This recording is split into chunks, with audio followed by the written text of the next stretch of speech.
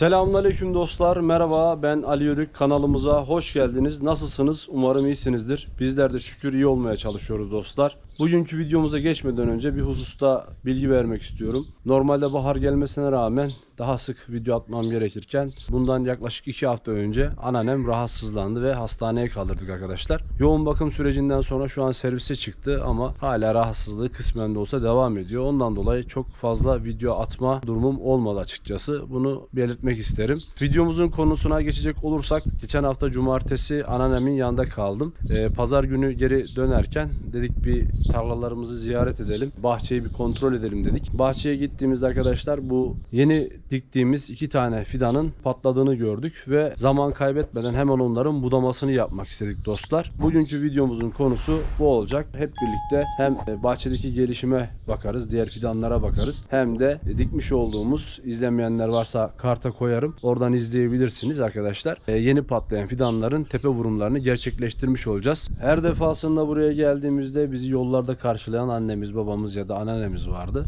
Şu an annemle babam da zaten anneannemin yanındalar, başındalar. Geçen cumartesi geldiğimde de bugün de geldiğimde kapı duvar arkadaşlar. Rabbim tüm hastalarımıza şifa versin. Aynı zamanda tüm sevdiklerimizi başımızdan eksik etmesin. Herkes evinde sağ olsun, ocakları tütsün. Ee, gerçekten kötü bir his. Her zaman geldiğin insanları yerinde bulamayınca insan kendini kötü hissediyor dostlar.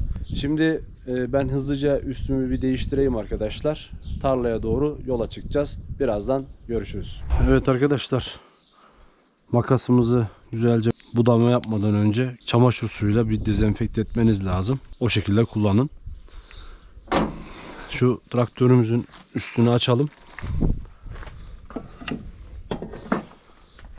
Cumartesi günü ben oraya gittiğimde arkadaşlar otlar o kadar çok büyümüş ki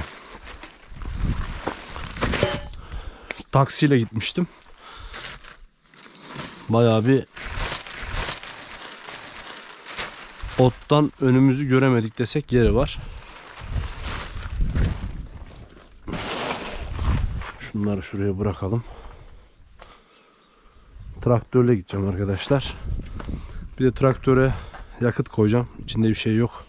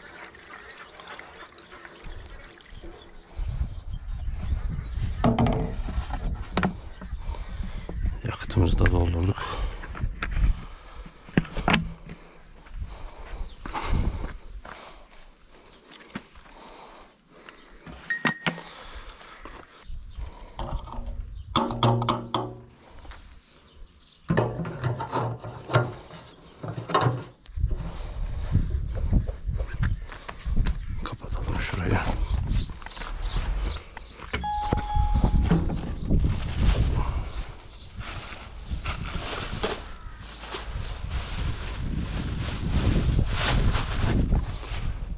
Bunları yerine koyalım.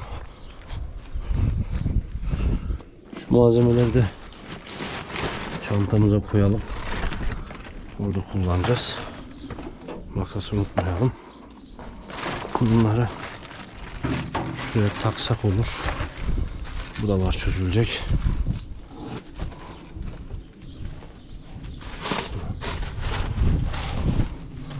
Garaj olmadığı için maalesef böyle sarıp sarmalıyorsun yağmurda falan zarar olmasın diye. Gelince bunları geri takarız dostlar. Şurada dursunlar. Kapılarımızı açalım. Ayağımıza değmesin şu. Bismillah.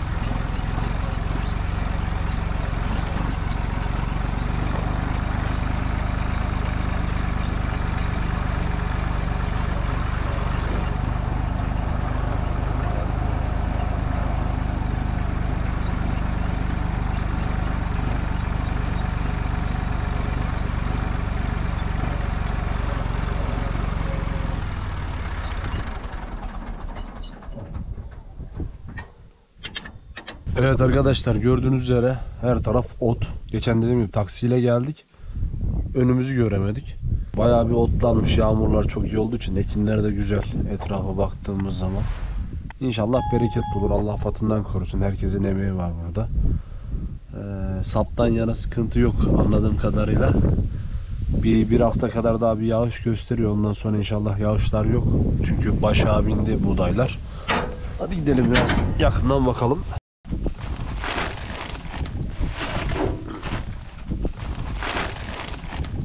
Evet. Poşetimizi delmişiz. İçeride herhangi bir şey zayiat yok. Güzel.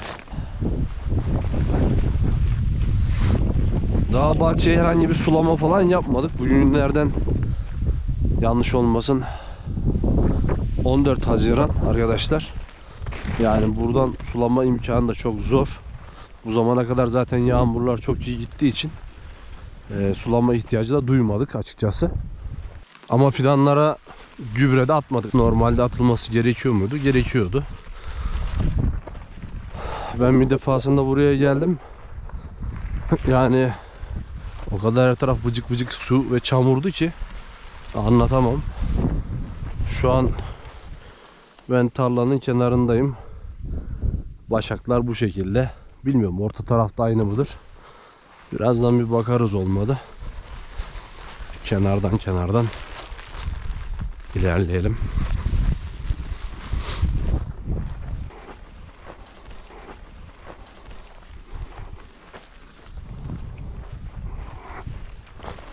Hep aynı yerden geçelim ki ekine zarar vermeyelim.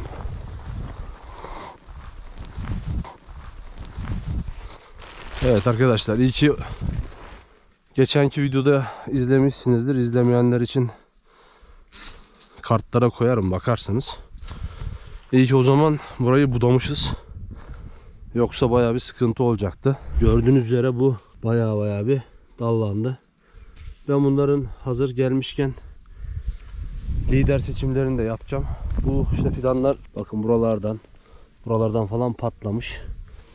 Fazla vakit kaybetmeyelim ki bu fidanlarda ağaç üst tarafa doğru besleme yapmasın. Hemen şu alt taraflardan budama yapacağız. Ki hani daha iyi bir gelişim olsun. Bu ağaçlar dediğim gibi çok güzel bir şekilde bakın kendini kurtardılar ve daha hızlı bir şekilde büyüyorlar dostlar. Ben hemen kamerayı şöyle bir yere oturtayım. Bunların budama işlemlerine geçelim. Ee, şöyle bir yol izleyeceğim. Normalde Haziran'ın sonunda bunları teke düşürmemiz gerekiyor ama hala dallara baktığınız zaman nazik ve kibar işte bir dolu yağmasında ya da ne bileyim işte bir kuş konmasında kırılma ihtimali var. Onun için biz iki tane sürgün bırakıp geri kalan kısımları alacağım ben. Çünkü oraya gitsin tüm enerjileri. Mesela bu aradaki dalları çıkartıyorum.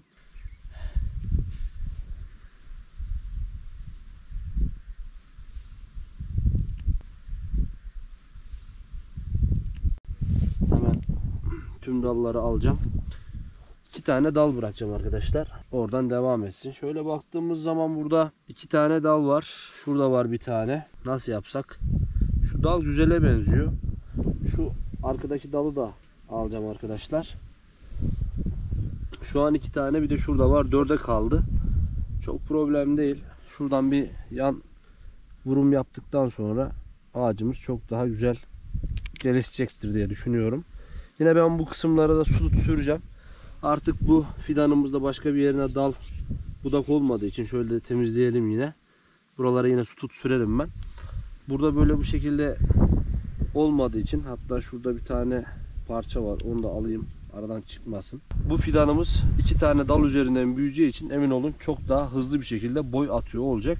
Geçen sene kökü oturmuş fidan olduğu için aradaki farkı gördünüz. Yeni patlayan fidanlarda çok bir gelişme yokken bunlar hızlı bir şekilde ilerlemekte. Hemen diğer fidanımıza geçelim. Bayağı iyi bir gelişme göstermiş. Burada da yine dal seyretme işine gideceğim. Şu dal gerçi bayağı iyi. Ee, oradan da yürüyebiliriz ama burada dağ seyretme işine gidelim. Şu altlardan dallardan alacağım. Şu güzel gelişmiş açıkçası. Şu tepedekini de bırakabiliriz. Şu da kalabilir. Biz en iyisi şöyle bir yol izleyelim. Hemen temizleyelim. Altlardan patlayan herhangi bir sürgün zaten yok. Şunu aradan çıkartacağım. Şu iki dal Haziran sonuna kadar gelişimini bir takip edelim. Haziran'ın sonunda duruma göre hareket edeceğiz arkadaşlar. Bu dalı da aradan çıkarttım. Kaldı yine burada iki dalımız. Evet dostlar bunlar bizim tozlayıcımızdı. Yani tuttuklarını gördüğümde çok sevindim açıkçası. Şuradan bir tane sürgün var. Şurada da bir sürgün var. Şurada da bir sürgün patlamak üzere. Biz bunu yine üst kısmını düşünmeyeceğiz arkadaşlar. Ben 3 göz üzerinden düşünüyorum. Şu alt tarafta patlamaya düşünen bazı gözler var. Onu alalım. Bunları 3 göz üzerinden düşünüp budayacağız. Şöyle yarım santim kadar üstünden görüp budama işlemini yaptık. Şu an burada 1, 2 ve 3 tane göz var. Şimdi biz bunu budadıktan sonra ki buralara su çıkmaya çalışıyor arkadaşlar bu yeşil kısımlara. Buraya gidecek enerji bu 3 tane sürgüne gelecek. Onun için çok daha hızlı bir şekilde ilerleme gösterecek. Bir diğer fidanımıza geldik arkadaşlar. Burada bir patlayan göz var. Burada var. Arka tarafta var. Burada var. Yine üst tarafta gözler yine doldurmuş. Şurayı kamera çekiyorum bilmiyorum ama biraz önce çektim. Bakın arkadaşlar şu an kökten yukarıya doğru çıkmış fidan buralara çalışıyor. Biz bu kadar uzun olmasını istemiyoruz ilk yıldan. Onun için alttaki gözlerden bir sürün almaya çalışacağız. Ben yine işi riske atmamak adına şu 1, 2, 3, 4 tane göz bırakıp budamamı yapıyorum. enerjisi ağacımızın yukarıya çıkmasın. Haziran sonunda tekrardan kontrol etmiş olacağız arkadaşlar. Sürgünümüzün çapraz bir şekilde gerisinden fidanımızı budadık. Aynı zamanda bu yeni fidanların kök kısımlarını kontrol edin arkadaşlar. Bakın böyle altlardan sürgün çıkarmaya çalışabilir. Bu da sizin üst taraftaki kısımları gelişmesini engeller arkadaşlar. Onun için mümkün olabildiğince bunları sık sık temizleyin ki bunları büyütüp ağaç ihtiyacını oradan karşılasın. Bu öz evladı olduğu için ağacın doğal olarak en çok bunları büyütmeye çalışacak. Onun için bunlara izin vermeyin. Üstteki gözlerin çalışmasına izin verin arkadaşlar. Yakından da göstereyim. Şurada bir tane, burada bir tane, burada ve şurada bir tane var. Yine baktığımız zaman bunlarda ben e, bir önceki videoyu izlemişseniz görmüşsünüzdür. Hep 3 sayıp 4 bırakmışım.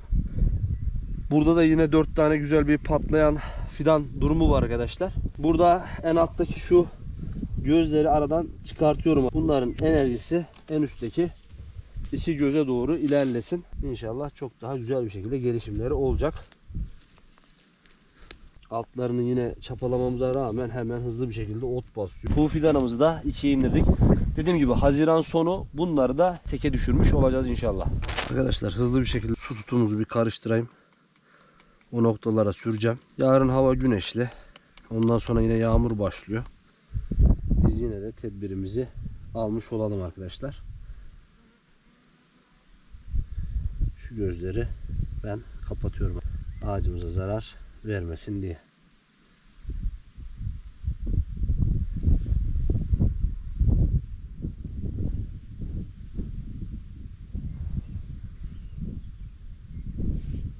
Fidanımızı kontrol ettiğimizde herhangi bir yerinde kapatmadığımız nokta kalmadı arkadaşlar. Tepesini güzelce kapattık. Şimdi bu fidanlarımız çok daha iyi bir şekilde gelişecek. Ben hemen hızlı bir şekilde hepsini bitiriyorum dostlar. Hemen şöyle göstereyim. Ağaçlarımızın hassas noktalarını, budama noktalarını bu şekilde sütla kapatmış olduk. Bunu iki göze düşürdük arkadaşlar. Yine bu tutan çentlerimiz geçen seneki 2 yaşında olan çentlerimiz. Tozlayıcılarımız dostlar. Bunların da kestiğimiz yerlerini sütle kapattık. Yine aynı şekilde bunu da o şekilde kapattık. 4 tane gözü var. Hangisi daha iyi gelişirse onlara öncelik vereceğiz. Yine burada gördüğünüz üzere 4 tane dalımız vardı arkadaşlar. Onların yerlerini de yine güzel bir şekilde kapattık. Kapatmasak çok bir şey olur mu sanmıyorum ama biz riske atmayalım. Güzel bir şekilde büyümeye devam etsin fidanlarımız. Fidanlarımıza yapacağımız işlemler bu kadardı arkadaşlar. Şu iki tozlayıcının tuttuğuna da ayrıca çok sevindim. Ee, şimdilik bahçemizden yapacağımız işlemler bu kadar. Ben şu çıkan otları bir elimle alayım. Çünkü çapa getirmeyi unuttum. Traktörden şimdi eldiven getireceğim. Şu tarlaların biraz ortalarına doğru ilerlemek istiyorum. Arkadaşlar şöyle bir şey söyleyeyim. Bu sene atılan ot ilaçlarının hiçbir yararının olmadığını söyleyebilirim. Baktığınız zaman tarlanın içinde otları görebiliyorsunuz. Bu sene enteresan bir şekilde öyle oldu.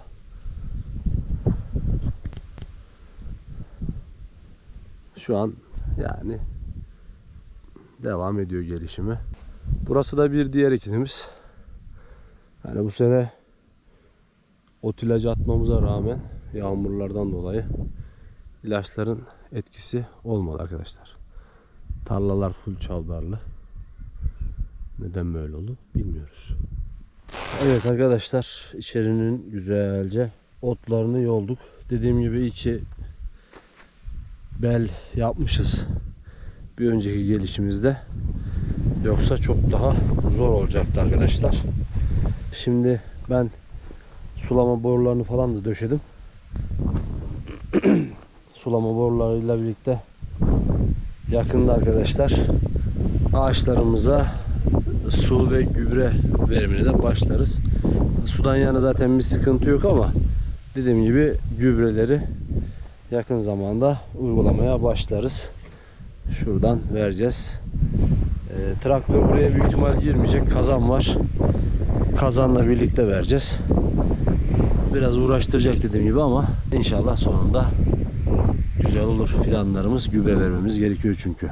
Evet dostlar bayağı bir yorulduk. Ancak değdi. Çok güzel oldu. Bu gelişimizde bu otları temizlememiş olsaydık bir sonraki gelişimize daha büyük sıkıntı çıkartacaktı. Videodan bu kadar dostlar. Başka gün başka bir videoda görüşmek üzere. Kendinize iyi bakın. Hoşçakalın.